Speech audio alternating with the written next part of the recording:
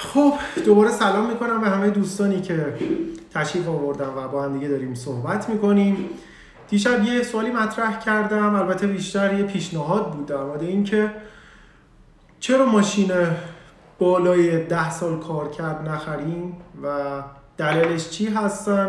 خیلی ریاکت نشون دادن به این قضیه. حدود 900 کامنت فقط به خاطر این قضیه برای من اومده که رقم خیلی بالایی هست و من گلچین کردم. حدود 50 40 تا 50 سوال ازش مونده.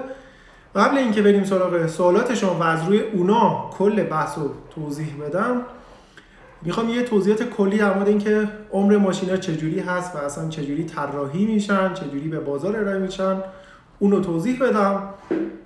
ببینید هر ماشینی که وارد بازار میشه طبق سیاست هایی که اون کمپانی داره یه عمر مفیدی براش تعیین میشه. یعنی عمری که ماشین تقریبا بدون دردسر ادامه بده. اینم بگم که یه سری استثناءات وجود داره. ماشین بلافاصله از کمپانی میاد بیرون. ایرادات خاصی داره. فراخان میدن. یا یه سری مثلا خطاهای انسانی هست. البته تو برندهای حالا معتبر اروپایی و آسیایی و آمریکایی. ولی در کل مثلا بگم برندهایی مثل برندهای آلمانی حدود 3 تا 4 سال بدون دردسر و با کارکرد معمولی مثلا سالی 20 تا 25 هزار کیلومتر شما می‌تونین استفاده کنین. مثلا مرسدس بنز ای 250 2015 16 که داخل ایران شما می‌بینین تا کارکرد حدود 60 تا 80 هزار تا میشه گفت یه چیز معمولی داره ارائه میده. کاری به کیفیت رانندگی و بحثای فنی ندارن. اینجا بحث ارزش خرید نسبت به خرابیه ماشین هست. رسید به 60 تا 80 هزار تا کم کم دردسرا شروع میشه. من خودم تو محیط تعمیرگاهی هستم. یکی از محیط های کاریم تعمیرگاه تخصصی تویوتا لکسوس مجموعه دیگه مرسدس بنز و پورشه و بی ام و کیا هیوندای ماشینای چینی سوزوکی و همشون هستن. کم و بیش باهاشون سر و کار دارم. بحث تویوتا لکسوس رو چون قدیمی تر من تو این کار بودم خیلی دقیق تر خبر از قیمت قطعاتش دارم. حالا ماشین های کره بین 5 سال تا 7 سال معمولا خرابی کم به بار میاد. درست خرابی هست تو بازار. حالا دلایل عمدهش هم بد نگهداری کردن از این ماشین هست ولی چیزی که به صورت معمول دیده میشه بین 5 تا 7 ساله برای ماشینای ژاپنی معمولا بین 5 تا 10 سال بسته به نوع ماشین که ماشین بدون دردسر میره جلو. این بحث ماشینای مسافرتی و سواری معمول داخل شهری است بحث ماشین شاسی بلند و آفرود و کاستوم شده اینا به کنار اونا رو هم بهش می‌رسیم. ماشینی مثل تویوتا یا لکسوس که خیلی حالا سوال کرده بودم یه سری داستانا داره که توی سوال بهش می‌پردازیم. مثل نیسان البته برندهای ژاپنی نیسان مزدا و میتسوبیشی اینا هستن کامل بهش می‌پردازیم. اینو اول شروع کردم که هر ماشینی توسط کمپانی یه عمر مشخصی داره. برای اینکه مشتری و مصرف کننده دوباره مجبور بشه بره ماشین بخره. اگه قرار باشه یه ماشینی رو مثلا بخره 20 سال استفاده کنه دیگه عملا سود کمپانی از بین میره و بازاوری و افزایش سود نخواهند داشت. یعنی نمودارشون به جای اینکه اینجوری بره کم کم میره یا حتی به سمت پایین نمیره نمودار سودشون. پس مسلما به سمت بالا باید بره و مصرفگره حالا خیلی از شما ریاکت نشون داده بودین که بریم سراغ ریاکت ها اولی یعنی از آخر میام. عزیز تویوتا چه 5 سال چه 50 سال داشته باشه هیچ فرقی بالش نمی‌کنه. خب من میگم نه اینجوری نیست. تو بحث ماشینه سواری و مسافرتی تویوتا از 10 سال که گذشت خرج عجیب غریبی رو می‌کنه. اینو قبل از هر چیزی بگم که شما سراغ استثناءات نرین. یکی خیلی خوب از ماشینش نگهداری کرده. یکی الان ماشین رو داره مثلا 13 سال 15 سال داره استفاده می‌کنه. چه تویوتا چه رنو چه نیسان چه حتی اروپایی ها و میگه هیچ مشکلی نداشته من روی صحبتم با کسی که الان می‌خواد ماشین رو بخره. یعنی الان قصد خرید یه ماشین رو داره. ماشین های تویوتا مثل مثلا تویوتا کمری 2007 8 لکسوس RX 2007 8 9 یا حتی لکسوس RX 2010 لکسوس GS تویوتا لند کروزر 2007 یعنی همون اتاق صد و 2009 تا حد زیادی 2008 اتاق 200 پرادو های اتاق 120 2007 که اینا همشون ریز قیمتیشون رو دستم هست و حتی ماشین های لکسوس که خیلی هم ظاهرا با کیفیت ترن وقتی که ماشین عمرش میره بالاتر شما وقتی می‌خواین مثلا ماشین بخرین معلوم نیست این مصرف کننده که قبل شما ماشین دستش بوده چی کار کرده باش. بعضی هم میگن که کار کرد حتی توی سوالان بود اگه کار کردش واقعی باشه چی؟ یه سری ماشین هست اصلا نمیشه کار کرده واقعیشون رو تشخیص داد. نمونهش همون تویوتا لکسوس. پشت صفحه کیلومتر فقط ذخیره میشه و وقتی دستکاری شد متاسفانه البته دیگه نمیشه تشخیص داد و هیچ ECU دیگه اینو ذخیره نمی‌کنه. توی ماشین های پیشرفته تر و ریستر مثل آلمانیا این قضیه توی چند ECU ذخیره میشه و یکم سخته که بیان دستکاری کنن هرچند اونم انجام میدم ولی توی تویوتا لکسوس نمیشه تشخیص داد. و البته خیلی از ماشین های دیگه. وقتی شما مثلا یه ماشینی که میاد جلوتون 120 هزار کار کرد و شما میگین 120 هزار تا کار کرده در حالی که ماشین دو هفته بعد شما استفاده می‌کنی یه جاییش در میره. یه ماه بعدش یه روغنریزی دیگه یه کاسه نمدی. اینا همش به خاطر اینکه کار کرده کم شده و میشه گفت 95 درصد ماشینایی که تو ایران هستن کارکردشون غیر واقعیه. مخصوصا تو قسمت تویوتا نیسان کیا هیوندای. حالا یه بحث این پیش میاد که کارکرد واقعی رو چجوری تشخیص بدیم و از این حرفا یه چند وقت پیش یه دونه لنکروزر آوردن اینجا برای کارشناسی. ماشین اصلا صفر نشون می‌داد. یعنی 46 هزار تا کارکرد روش بود 2012 بعد رفتیم زیرش داخل موتور ماشین عینا صفر. گفتیم کارکرد تقریبا واقعیه. فقط رفتیم زیر ماشین بالای جک و کنار اون لچکی و کنار فنرات رد مسواک بود. یعنی با مسواک جوری حرفه ای صفر شویی کرده بود این ماشینو کل سیستم اگزوز عوض شده بود. اصلا زیربندی صفر صفر شده بود. و از اونجا تشخیص داده شد که این ماشین کارکردش کم شده متاسفانه. عملا به این کارکردهایی که روی ماشین هست شما اکتفا نکنین. حتما پیش کارشناسا برین. حالا یه پست جداگانه هم کامل در مورد اینکه چجوری ماشین بخریم. براتون در میارم. الان فعلا از بحثمون دور نشین.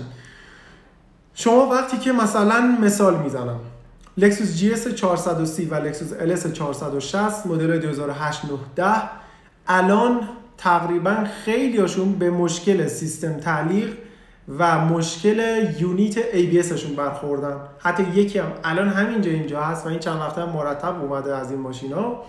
یونیت ABSش 50 میلیون تومنه. یه ماشینی که یک میلیارد 800 میلیون یک و 200 قیمت داره. یه یونیتش فقط 50 میلیون تومان قیمتشه. 40 میلیون تومان 50 میلیون تومان که گیرم نمیاد البته. روی صحبت من با کسانیه که قطعات اورجینال استفاده می‌کنن. بحث فیک و طرح بازار و مجبوری اینا رو به کنار. ما در مورد یه چیز اورجینال صحبت می‌کنیم. یه چند وقت پیش یکی از دوستان وراکروز گرفت که حدود 224 تا 225 تا کارکرد روش بود فکر و 2011 بود. اومد که گفت گفتن یه سری حالا اشکالات معمولی زیرش هست. رفتیم زیرش ماشین 70 میلیون تومن خرجش فقط خرجه ساده زیربندی و پلوس و کاسه نمد و یه سری چیزهای خیلی هم حالا عجیب غریب نبود. ولی بازم ماشین ماشینی نشده بود که به در بخوره و شما وقتی که ماشین رو میارین کارشناسی ماشین حالا هر ماشینی باشه از برندهای آلمانی، چینی، کره یا ژاپنی معمولا رو نمی‌کنه. کسی که می‌خواد ماشین رو بفروشه مطمئن ماشین از پنج ماه از سه ماه شیش ماه قبلش ول کرده ماشین رو. نه سرویس ها رو مرتب انجام میده نه به ماشین می‌رسه. میگه دیگه می‌خوام بفروشم. حالا بدم بره دیگه. زیاد بهش توجه نمی‌کنه و همین قضیه باعث میشه که شما به مرور زمان یه بار با کاسه نمد مثلا پاره رو بره بشین یه بار با پولروس خراب یه بار با سیستم تعلیق یه بار با دیسک و مجموعه اینا میشه یه خرابیه بالا. حالا در مورد ماشینایی که 10 سال به بالا عمر دارن معمولا قیمت قطعات ماشینای کهنه بالاتر میره از حالتی که اول بوده. اونم دلیلش به خاطر اینکه شرکت ها دیگه کمتر ساپورت می‌کنن و کمتر به بازار عرضه می‌کنن. همین باعث میشه که کمتر هم توی بازار دیده بشه و گرونتر بشه. پس تویوتا و غیر تویوتا تو این قضیه فقط به خاطر این مهمه که تویوتا بیشتر دوام داره. یعنی ده سالش رو پر می‌کنه برای اینکه شما بخواید بخرید وگرنه باز هم از تویوتا تو ماشینه سواری و معمولی که توی بازار است برای مسافرت مثل SUV ها و کراسوورها تویوتا رافور هست حالا لکسوس آریکس هست لکسوس GS ES IS اینا همشون هستن که شامل هم این قضیه میشن. و وقتی که از ده سالشون رد میشه حتی تویوتا کمری مثلا کمری گرند 500 600 تومانی یه سری مخارجی رو می‌کنه که دیگه نمی‌تونین شما support ش کنید شما نمی‌تونین یه ماشینی که 600 میلیون تومنه هر دفعه مثلا هر دو سال یه بار 10 درصد 15 درصد قیمت ماشین رو بیاین خرجش کنین. علاوه بر علافی و تعمیرگاهش به خاطر همین قضایی است که میگم. و اونایی که دارن میگن هیچ مشکلی نداریم و خیلی هم اوکی هست ماشینشو بیارن کارشناسی کنیم ببینیم که واقعا هست یا نه. چون ما خیلی از این قضیه رو دیدیم و معمولا هم بیشتر توی شهرستان هست که این اتفاق میفته. مطمئنم به ماشینشون ولی متاسفانه چیز عجیب غریبی رو می‌کنه. حالا ادامه هم میدم این قضیه رو. چینی بخریم. یکی دیگه از دوستان پرسیدن که ببینید چینی در مقابل ماشین ایرانی میشه گفت ارزش خرید داره. در مورد بعضی از ماشین کره و شاید بگم بعضی از ژاپنی هم حتی بله. بسته به اینکه شما بتونین خرجایی که روی ماشین میشه رو ساپورت کنین یا اینکه نه اصلا هیچ خرجی نکنین و فقط برین سراغ ماشینی که هیچ دردسری نداره از لحاظ خرجی و گارانتی داره این قضیه انتخابش فرق داره. مثلا یکی می‌تونه تیگو هفت فرضاً 800 900 تومانی انتخاب کنه یکی هم می‌تونه بره سراغ مثلا اسپورتیج و توسان. که این دوتا با هم فرق اسپورتیج و توسان یه ماشینن که عمرشون بالاتر رفته و یا حتی بعضی از ماشین های تویوتا. ولی خرجایی دارن. عوضش تیگو یه ماشین چینیه که کیفیت ساخت کمتری داره احتمال خرابی بیشتری داره نسبت به اینا و پرستیژ خوبی هم نداره به خاطر چینی بودنش. اینا بسته به انتخاب شما هست. هیچ وقت قطعی من نمی‌تونم بگم کدومشون خوبه یا بد. پول نداریم خب مدل جدیدا رو بخریم. بعدش قدیمی ها بهتر کار می‌کنن. بحث کار کرد که گفتم بحث پول نداشتن اینجور چیزا هم که اصلا یه چیز شخصیه. من نمی‌تونم داخلش بشم. حتی هایلوکس یکی از دوستان پرسیدن بحث هایلوکس، لند کروزر و پرادو اینا بحث ماشینه شاسی بلندن و تا حدی آفرود. ماشینایی که یکم محکمتر ساخته شدن یکم یغورتر و قویتر با سیستم تعلیق بهتر و ارتفاع بیشتر از سطح زمین که باعث میشه عمر نسبتا بالاتری داشته باشن به نسبت ماشینهای سواری. البته این قضیه فقط تو ماشینهای تویوتا و نیسان است. و توی ماشینهای مرسدس بنز و پورش و ماشین کیا هیوندای این قضیه باز زیاد فرقی نمی‌کنه و همون قضیه 5 سال و 7 سال اینا هست. ولی توی ماشین شاسی بلند تویوتا نیسان تقریبا میشه گفت تا حدود 12 13 15 سال بدون اینکه دستکاری افتر مارکتی و بازسازی باشه. بحث بازسازی هم حتما بهش می‌رسیم. دوست دیگه گفتن که سالار جان ماشین ایرانی بعد سه سال یک به خرج میفته باز خارجی خوب خرجش می‌کنی یه مدتی جواب میده. البته یدکیش هم گرونتره. خب خودشون هم جواب گفتن. ماشین ایرانی اینو حالا اول داستان نگفتم. عمرش به صورت نرمال دو تا سه ساله.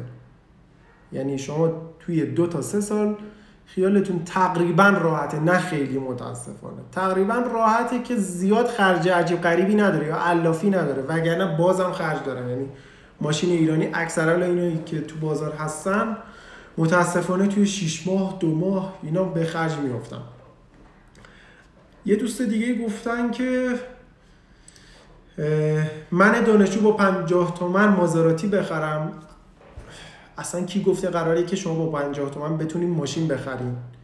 یعنی متاسفانه این فضای مجازی به جایی رسیده که هر کسی فکر می‌کنه هر چی دلش بخواد می‌تونه بخره. و این قضیه ربط به ایران هم نداره. فقط که بگین آخه مثلا تو آمریکا فلان اینجوری دارن شو می‌کنن بعضی از دوستان که آمریکا اینقدر راحت ماشین خریدن فلان اصلا این قضیه نیست.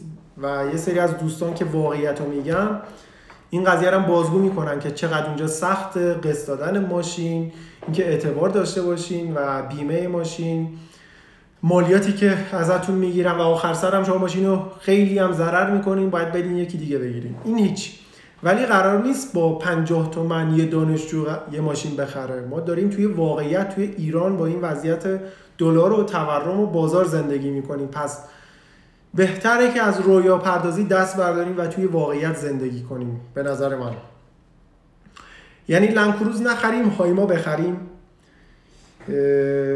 لندکروزر هیچ لندکروزری میشه گفت از اتاق صد به بعد در رده هایما نیست و هایما 0 کیلومترش میشه هم رده FJ 80 FJ 80 یه ماشینیه که آفرودیه دو دیفرانسیل شاسی بلنده و کیفیت سواری مناسبی داره ولی قدیمی. ماشینیه که حداقل مال 20 سال 25 30 سال پیشه.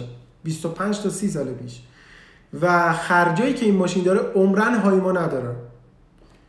می‌رسیم به همون ضرب مسئله که بزرگی خرج داره واقعا. یعنی شما بخواین استفاده از امکانات خوب بکنید باید جورش هم بکشین. هم تعمیرگاهی هم قطعاتش هم علاف بودنش و همین که ظاهر خیلی باحالی هم نداره جه 80 پس اگه می‌خواین آفرودی بخرین لنکروزر اگه می‌خواین یه ماشین نرمال شهری و مسافرتی بخرین هایما و بحث ماکسیما. خیلی از دوستان گفته بودن که تو ماکسیما رو تبلیغ کردی. من تبلیغ هیچ ماشینی رو تا نکردم و نمی کنم و ماکسیمایی هم که اینجا گذاشتم یه معرفی بوده فقط.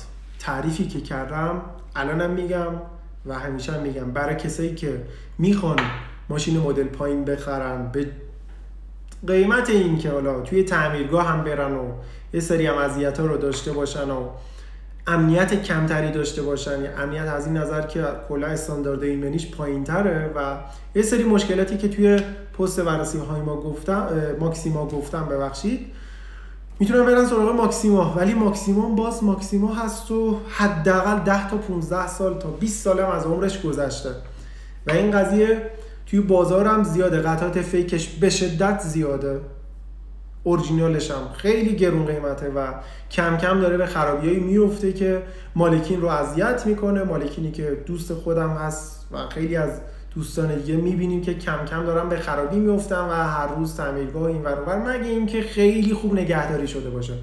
پس ماکسیما اگه خبر داشته باشین نه تنها ماکسیما هر ماشین دیگه ای اگر خبر داشته باشین که مالکش خوب نگهداری کرده و مرتب بوده ماشین مشکل فنی چندانی نداشته می‌تونیم بخریم ولی باز هم از ده سال بیشتر خود به خود اون جنس پوسیده میشه. کاس نمت ها و اون واشرا اون وایرایی که هستن کم کم دیگه دارن از بین میرن فرسوده میشن. برای همین میگم هر کاری هم بکنی. حتی ماشین 20 هزار تا کار کردم باز ریسک خودشو داره ولی کمتر به نسبت ماشینی که خیلی کار کرده در مورد ال90 صدق نمی‌کنه که از دوستان گفتن. من ال90 دارم مدل 88 بدون رنگ موتور گیر بوکس پلمپ. فکر کنم می‌خوام بفروشم. همیشه روغن خوب ریختم یه نکته خیلی مهم و امشب هم در موردش پست خواهم گذاشت. با هر روغن فیلتر روغنم عوض کردم روغن گیر بوکس هم اشتباه نکنم دو یا سه بار تعویض کردم. نوع روغن گیر بوکس رو هم ریختم بهترین نوعش رو ریختم و لوازم فابریک و جلو بندی اینا رو هم مدل 88 هست. یه نکته خیلی خوب اشاره کردن ایشون. و خیلی خوشحالم که اینو گفتن. خودشون خوب نگهداری کردن سرویس ها به موقع رسیدن و الان خودشون راضیان ولی آیا این فرد که اینجوری از ماشینش راضیه میاد اینجوری بفروشه؟ به شما؟ به من؟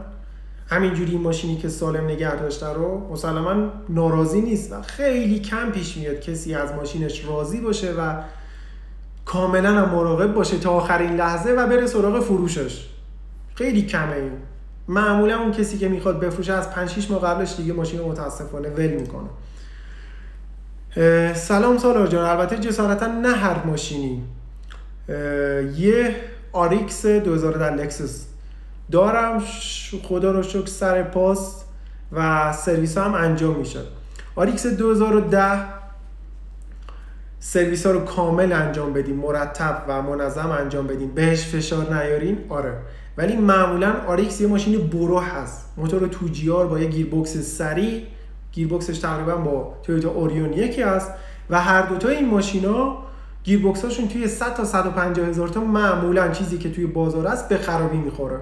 و این فراوون هست توی بازار. دیگه لازم نیست من بیام اثبات کنم. هرچند که بازم بیاد پیشم بهتون نشون میدم که چجوری خرابی به بار میاره و قیمت گیربکس استوکش هم 35 تا 40 میلیون تومنه. جدا از حالا دستمزد و ایناش. پس اگه خوب نگهداری بشه و زیاد باش گاز و دود نکنین خوب نگهداری. شاید بگم معمولی میشه و گیر بوکسش جای ایراد داره همیشه. ماشین با عمر کمتر از ده سال داخلی و ایران خودرو کیفیت نداره. خب بله. و خارجی و تویوتا هم قیمت بالایی داره. شما جای من بودید با بودجه 60 تومن چی میخریدید؟ به عنوان ماشین دوم و تو شهر و روزمره. قرار نیست با 60 تومن تو این جامعه با دلار 24 5 تومنی شما بیاین ماشین خارجی بخرین. ماشین خارجی که با کیفیت باشه. واقع بین باشین خیلی بهتر است. پژو 405 داره مدل 82 6 سال دستمه. هر 6 بار نرفتم تعمیرگاه. خدا رو شکر.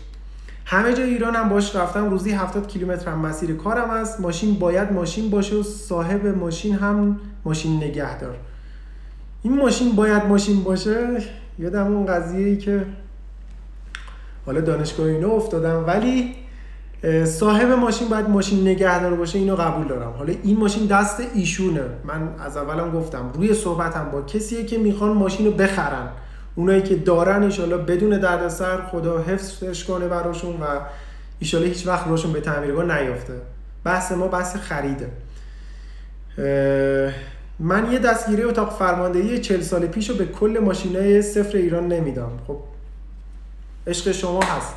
و اتاق فرماندهی یه ماشینی که مال 40 سال پیش خودشون هم گفتن یه ماشین شاسی بلند آفرودی که قدرت زیادی هم نداره. موتور سیف داره گشتاور مناسبی داره ولی خیلی سرعتی نیست و فقط به درد بیراه نوردی خارج از آسفالت می‌خوره. یعنی شما یه سفر 400 کیلومتری با یه دونه اتاق فرماندهی داشته باشین قشنگ یه هفته پیاده میشین. یعنی اینقدر حوصله سربره و اذیت می‌کنه. سر و صدا و مصرف بنزین زیاد و استهلاکی که کم کم داره میفته و همیشه شما باید تو تعمیرگاه باشین. یه سفر آفرود میریم برمیگردین تعمیرگاه.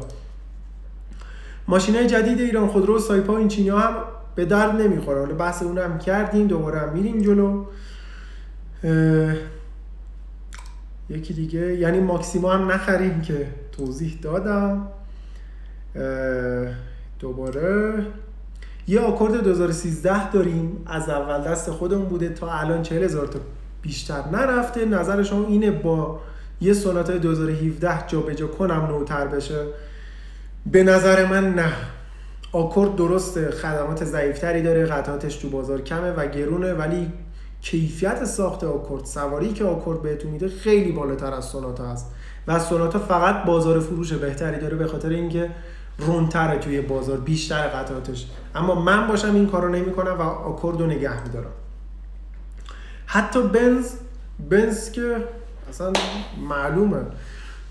عمرش به سه چهار سال می‌رسه کلی خرج و مخارج کلی خرابیا به خاطر متاسفانه بنزین بیکیفیت ایران و بیشترم روغنایی که 99 درصد فیک هستن و بعضیشون به اسم اصلی هم فروخته میشه.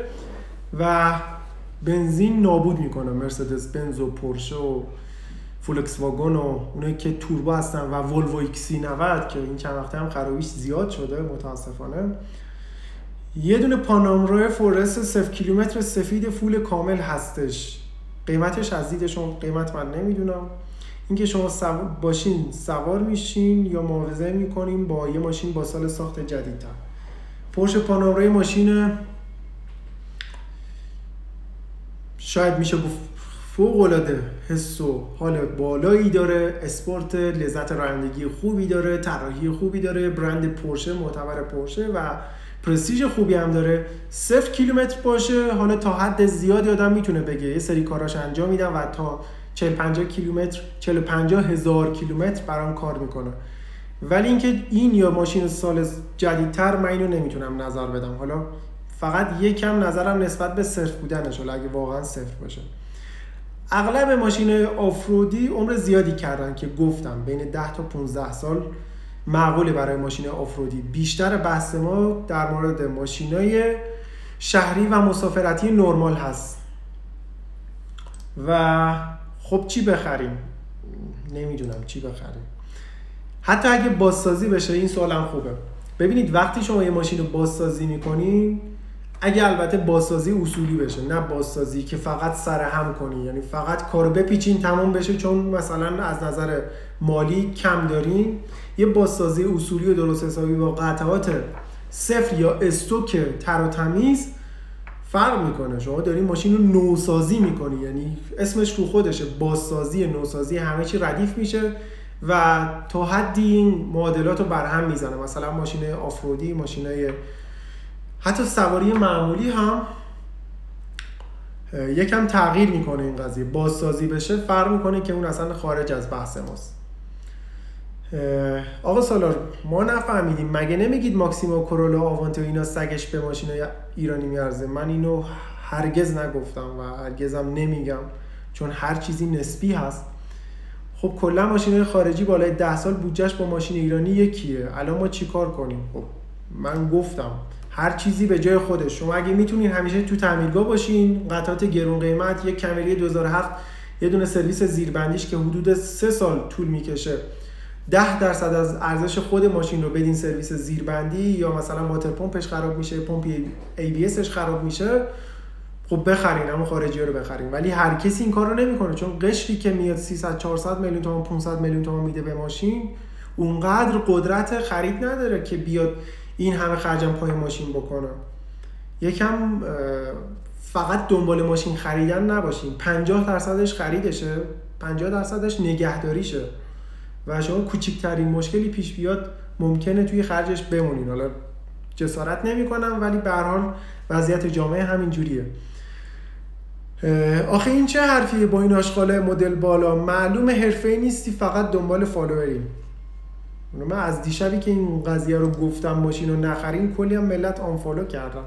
ناراحت شدن به نظر من اولویت تو خرید ماشین کار کردشه بعد مدلش. بله تا حد زیاد این درسته. کارکرد خیلی تاثیر داره و معمولا هم با کارکرد سنجیده میشه این قضیه تا یه مدتی تا اون تایمی که کمپانی براش گذاشته.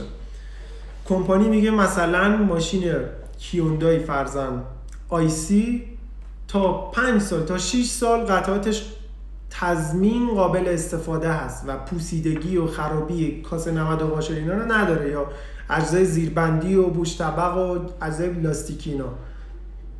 ولی وقتی که رسید به 6 سال 7 سال 8 سال شما کارکردتون هم پایین باشه کم کم این پوسیده میشه. مثل قضیه لاستیک لاستیک ماشین 5 سال اعتبار داره. و شما می‌بینیم بعضی تو 4 ساله هم با اینکه کارکردش کم بوده ماشین لاستیکاش ترک ور میاره کم کم خراب میشه. همین قضیه باعث میشه دمای نگهداری ارتفاع سطح دریا اکسیژنی که به قطعات ماشین می‌رسه اینا همشون تاثیر دارن توی ماندگاری ماشین. پس صرفا فقط کارکرد مهم نیست ولی میشه گفت مهمترین قضیه هست توی انتخاب ماشینه مدل بالا. صفر چینی چی؟ که من خودم شخصا سراغ ماشین چینی نمیرم.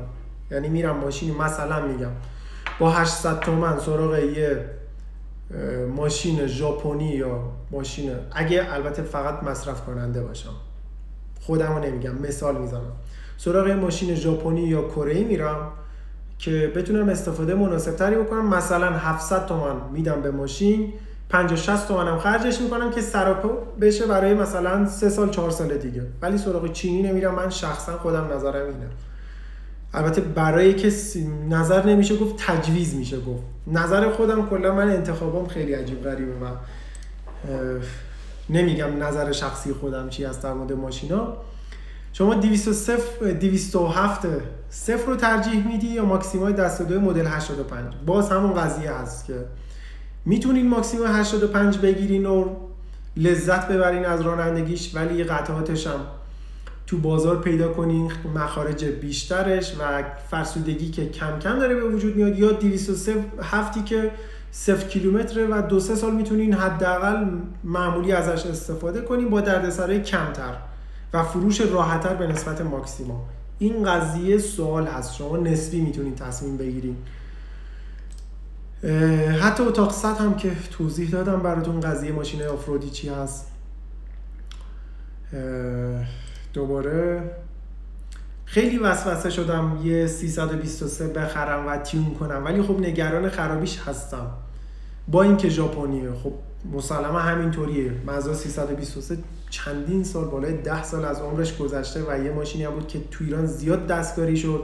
با اینکه قطعاتش هست ولی باز یه ماشینی که قدیمی شده و در سرای خودش داره اما بحث تیون. شما وقتی ماشین دستکاری می‌کنین دیگه خیلی از چیزاش البته نمی‌دونم منظورشون چه تیونی هست ولی تیونی که تو ذهن منه شما موتور رو کامل اوورهال می‌کنیم اتاق بدنه سیستم زیربندی و اون میشه تیون کردن برای اینکه چیز استاندارد بشه.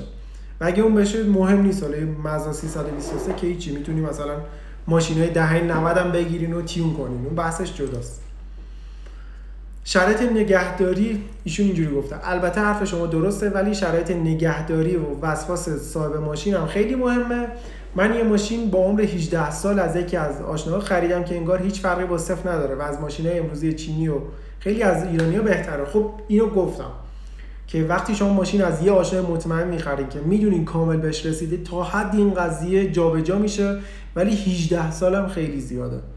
و به نظر من اگه ماشین شاسی بلند نباشه حالا نگفتن چه ماشینی هست ریسکش بالا هست توی ماشین سواری. مثال می‌زنم براتون. یه کرولا مثلا 2005 6 که الان میشه 16 سال عمرش. شما هیچ کاریش هم نکنین کم کم پولوساش خراب شده یعنی کمترین کار کرد مثلا 100 هزار تا کار کرد. پولوساش کم کم خراب شده زیربندیش به مشکل می‌خوره احتمال داره واتر پمپش مشکل داشته باشه روغن ریزی احتمالی که داشته باشه چون فرسوده شده. لاستیک و به اصطلاح واشر و وایر و کاسه نمدیناش فرسوده شده. احتمال داره این قضیه پیش بیاد. یا حتی یه مثال دیگه. پرادوهای این چند وقته چهار مورد به پست من خورده. پرادوهای اتاق 120 یعنی مدل 2005 تا 2007 که پمپ ای شون میسوزه و پیدا نمیشه. حتی توی دوبی هم نیست. مخصوصا پرادوی دو در. این قضیه رو اونایی که دارن می‌دونن چی هست. پمپ ای نه توی دوبی پیدا میشه نه توی روسیه توی ژاپن هم حدود سه ماه طول می‌کشه که این پمپ ای بیاد. قیمتش هم حدود 20 تومن 15 تومن 25 تومن در میاد. یه پمپ ای فقط. و پرادو کم کم دارن به این مشکل می‌خورن. حالا توی اتاق صد این قضیه هست توی لکسوسای سواری این قضیه هست. و کم کم داره رو میشه. همون جوری که توی ماشین کره یکم زودتر توی 5 6 سال داره رو می‌کنه توی این ماشین هم همینجوری توی تویوتا و لکسوس. داداش من تازه رفتم ماکسیما خریدم. خدا بگم چی کارت کنه ایشاله که به سلامتی استفاده کنی و هیچ مشکلی برات پیش نیاد هرچند من توضیح نکردم بریم ماکسیما بخریم. فقط مقایسه گذاشتم. حسن گفتن که ما داریم و استفاده می‌کنه و خرجش هم می‌کنیم. این یه حرف درست حسابی. آدم دلش می‌خواد یه چیزی رو بهتر داشته باشه خب بیشتر هم باید خرجش کنه. قضیهش جداست. فرمودن که جک S5 مدل 98 یا مازدا 3 مدل 90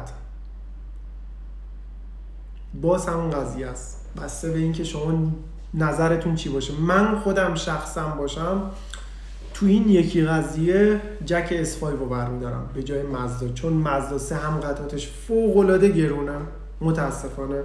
همین که مدل 90 میشه تقریبا 10 سال کار کرد و کیفیتش کم کم اومده پایین.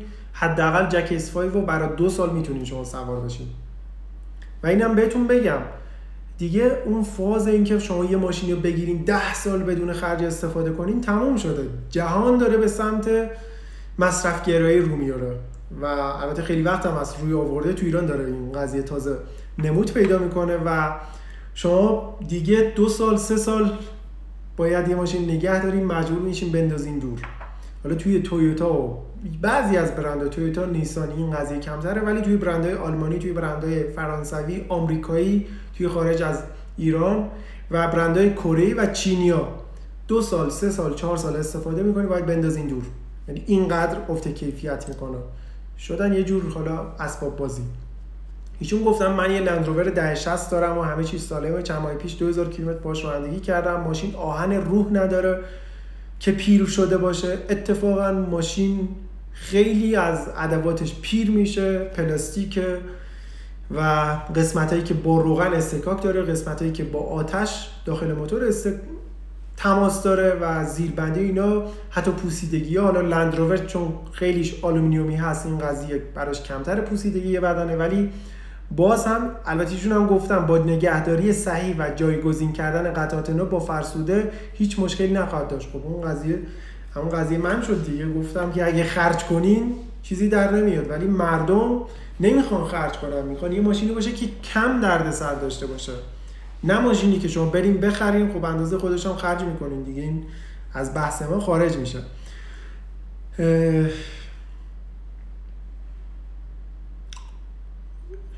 یه سوال دیگه بگیم. البته من یه آبیم بخورم. اجازتون ببخشید.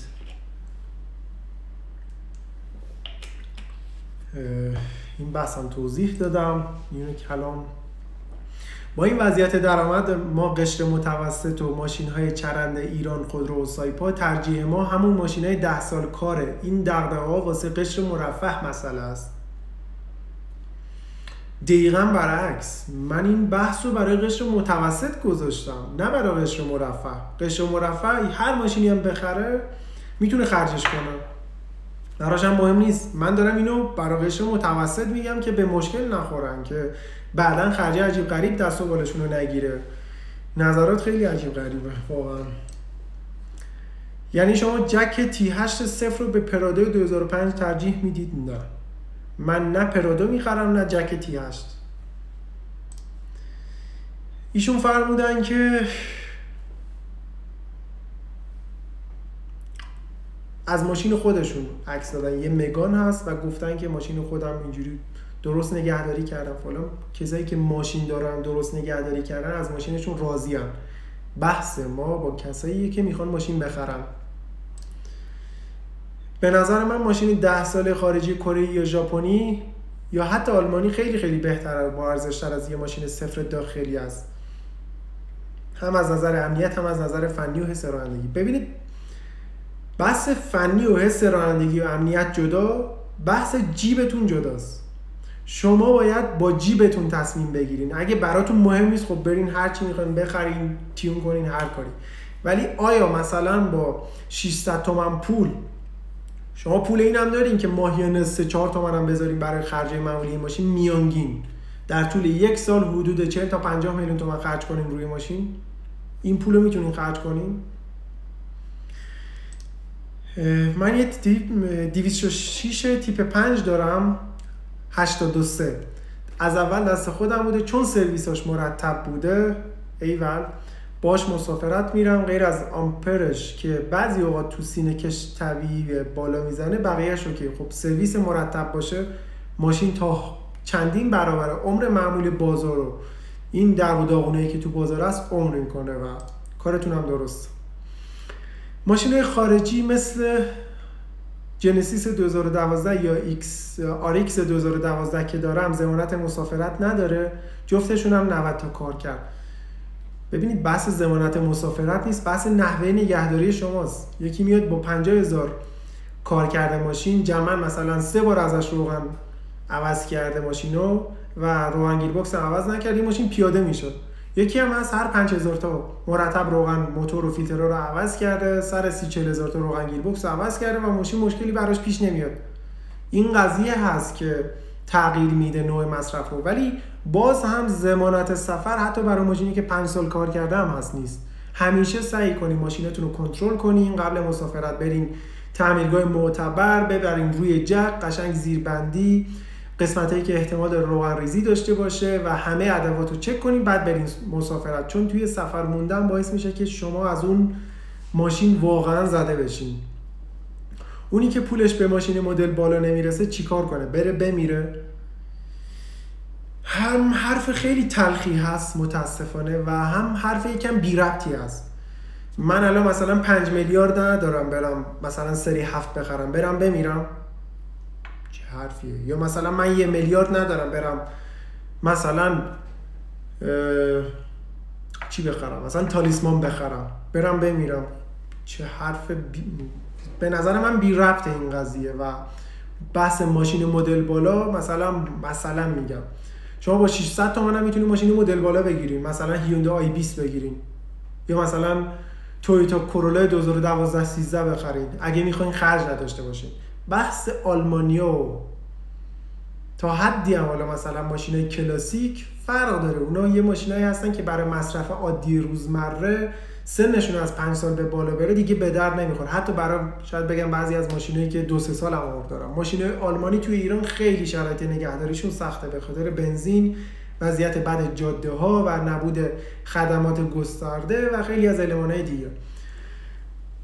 بحث امشب سوالات تموم شد اونایی که گلچین کرده بودم خیلی هم زیاد حرف زدیم تقریبا 50 دقیقه شده و یه جنبندی بخوام بکنم. روی حرف من با اونایی که در حد پولی که دارن می‌خوام خرج کنم و زیاد نمی‌خوام پول اضافه بدم بابت تعمیرات ماشین زیاد حوصله تعمیرگاه و علاف شدن و بی ماشین شدن رو ندارم. اینکه سعی کنین بیشتر تو واقعیت خرید کنین نه توی رویا.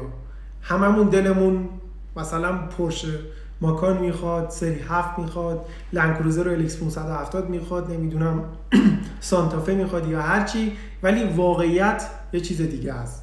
شما توی واقعیت باید چیزی بگیرین که به فشار نیفتین یهو مثلا یه تصادف خدایی نکرده جزی داشتین. توی خرجاش نمونیم ماشین نیفته گوشه تعمیرگاه 4 5 و اونجا پوسیده بشه زیر آفتاب. یه ماشین رو بگیرین که هم از بودجهتون کمتر قیمتش باشه هم بتونین تا حدی ساپورت کنی وقتی که اتفاقی براش پیش بیاد و زیادم دردسر براتون نداشته باشه. ماشین یه چیز مصرفیه. بحث عشق ماشینا و tuner ا و اونایی که از دوچرخه تا لامبورگینی به هرچی برسن مسابقه میدن اونا جداست. حالا برای اونا live می‌ذاریم.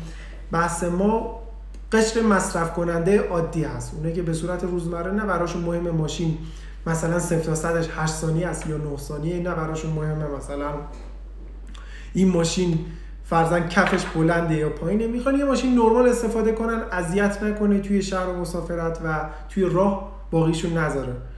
امیدوارم که این لایوم هرچند طولانی شد مسمر سمر بوده باشه و خیلی هم خوشحال شدم که نظرات زیادی بود تو این قضیه. کامنت هم باز می‌کنیم. ببینیم که حالا صحبتتون چی هست. سوالی اگه داریم بپرسین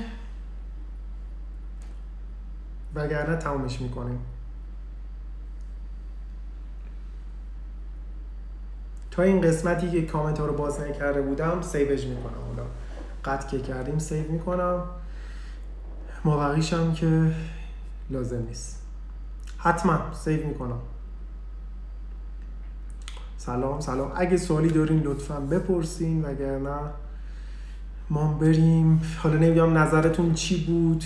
امیدوارم سواد کمی که دارم و تجربه ای که تو این قضیه تجربه کمی که دارم براتون مفید بوده باشه.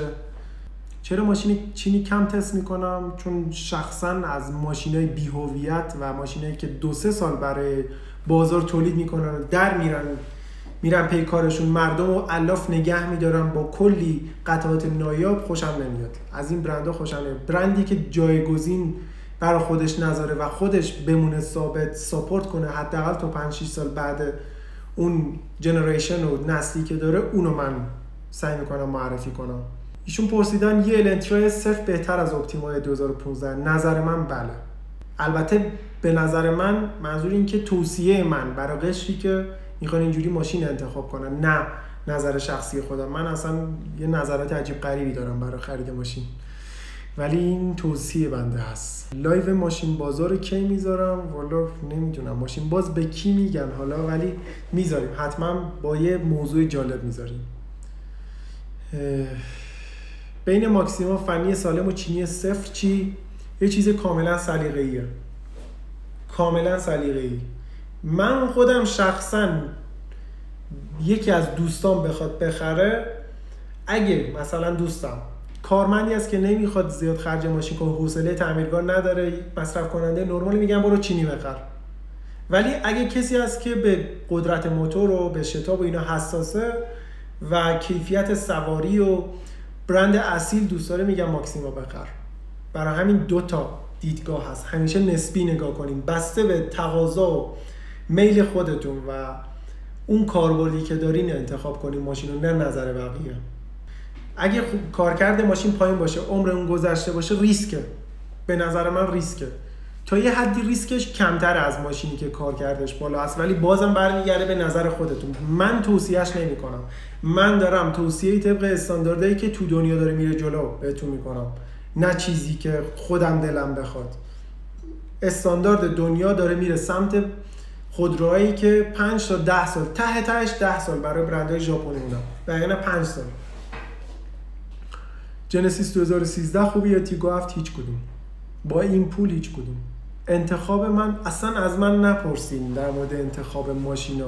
بسته به نیاز خودتون من می‌تونم نظر بدم که اونم به زودی یه field مشاوره باز می‌کنیم که قشنگ با هم دیگه بشینیم صحبت کنیم. من شرایطتون رو بپرسم بودجه مالیتون و نوع استفادهتون. یه field مشاوره باز می‌کنیم به زودی. فعلا نمی‌تونم جواب بدم چون خیلی زیاده. کمری گرند کمکار هزینه ندارد. ما سه تا کمری گرند داریم. سه تا کمری گرند مبارکتون باشه ایشالله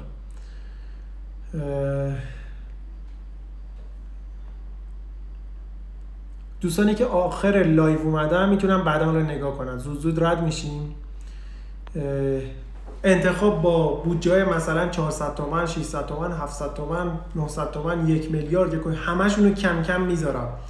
طبق همون highlight ی که گذاشتم برین تو highlight ها نگاه کنین. ماشین با 500 میل. هم 500 میلیونه. بریم اونجا نگاه کنین ماشین 500 میلیونی رو گذاشتم.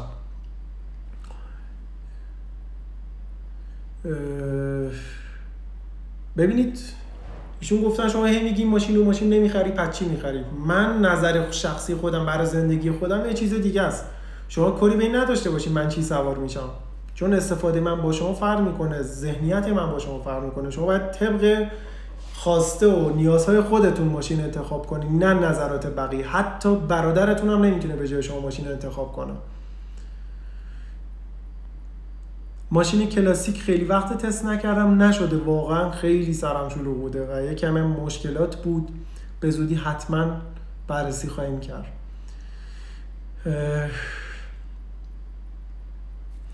به نظرتون 530 یا ماکان کدوم ارزش خرید بیشتری داره؟ هر دو 2018 باز برمیگرده به استفاده و علاقه. من خودم شخصا باشم پرش ماکان. یعنی خودم شخصا باشم. نظر شخصی خودم پرش ماکان بیشتر از 530 دوست دارم. این دید سلیقه ای هست بحث خرید ماشین. یه پست به زودی می‌ذارم. احتمالا فردا پس فردا بذارم. احتمالا پس فردا. بذارم یه چیزی در مورد خرید ماشین براتون میگم. اونجا حتما منتظر باشید. هایلوکس 2015 با 5 سال کار کرد بخریم یا نخریم؟ بخرید. فیدلیتی چجوریه؟ نمی‌دونم چجوریه والا من. شاید یه چیزی در حد همون دیگنیتی باشه. تو range 600 500 500 تومن رو گذاشتم توی highlight نگاه کنین. لطفا در مورد سیسه. پژو 2008 و سیسه که تقریبا یه چیزی هستن یکیشون رو به زودی بررسی خواهم کرد. دوتاشون تقریبا مثل همن ولی یکیشون رو بررسی خواهم کرد. تستا رو نپرسین. سوال در مورد این قضیه چرا ماشین بالای ده سال نخریم؟ لطفا چیز دیگه نپرسین. خب دیگه سوالات خیلی زیاد شد و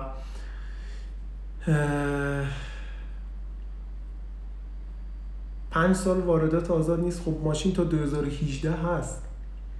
ماشین تا 2018 اومده یعنی تا سه سال قبل اومده شما می‌تونین از ده سال تا سه سال قبل رو بخرید. خب دیگه خیلی طولانی شد. نمی‌خوام حوصله سر بر بشه. live رو ذخیره می‌کنم براتون و امیدوارم تا آخر نگاه کنیم به دردتون بخوره. به زودی هم بحثای اینجوری می‌ذاریم با هم دیگه که هر چیزی که من می‌دونم رو هر چندم کم شاید کمک کنه حتی به یک نفر. یک نفرم این وسط کمتر ضرر ببینه یا ضرر نبینه برای من کافیه. خیلی خوشحال شدم از اینکه همراه بودین. امیدوارم که تنتون سلامت و جیبتون پر پول به ماشین آرزوهاتون برسین. بتونین لذت ببرین از زندگی و رانندگی. تا live دیگر بدرود.